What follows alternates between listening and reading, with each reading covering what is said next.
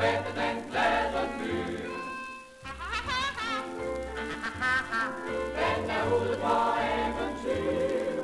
Man hører den sang, når den er i gang her i skovens grønne hånd. Hvis du går uden hat, risikerer du alt. Den hugger et hul i din skald. Sørens fætte er altid glad. Ha ha ha! Når den banker, så får den meget.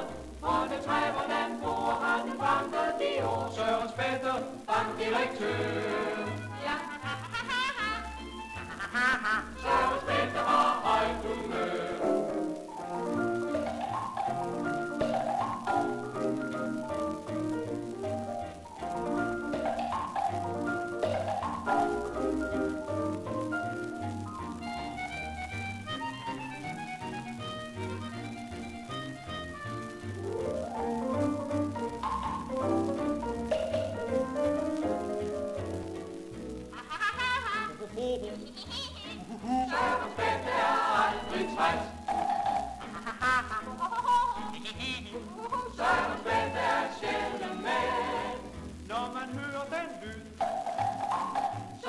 Mama.